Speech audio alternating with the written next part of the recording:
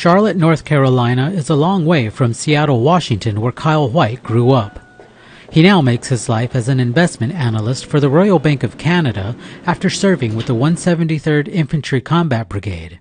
His stint with the Sky Warriors in Afghanistan would eventually change his life forever. 9 November, you know, it's a day that'll it'll be fresh in my mind for the rest of my life, I have no doubt. That's what I wanted to do.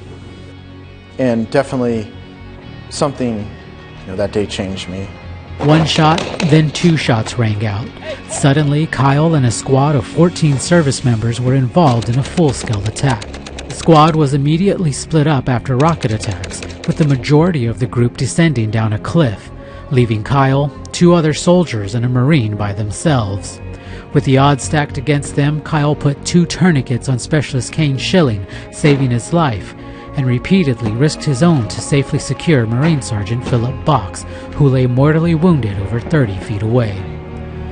His heroic efforts that day earned him the Medal of Honor. I mean, I did no more than anybody else would have done that day. You know, if it was Schilling in my place and I was the one that was, you know, sitting there wounded, he would have done the exact same thing. You know, I'm not accepting the award for myself. It's, you know, I'm wearing it on behalf of those that lost their lives that day because it's really theirs.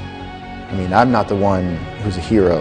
They are. They gave the ultimate sacrifice in the defense of the country. No matter what I'm going through, you know, no matter what you know challenges lay ahead or what ones I've overcome, I hope to just make them proud.